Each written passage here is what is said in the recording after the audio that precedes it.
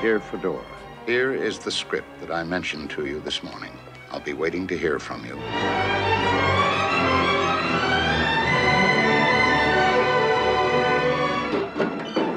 I'd like to see Madame Fedora. Not here.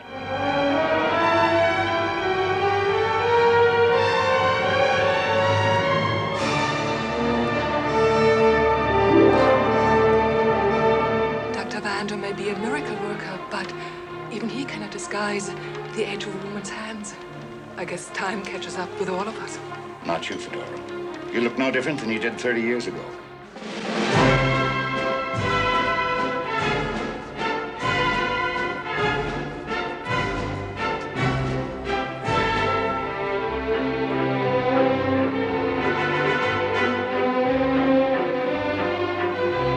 The first time I saw you on the screen was in something called Half Moon Street. That's going back quite a while.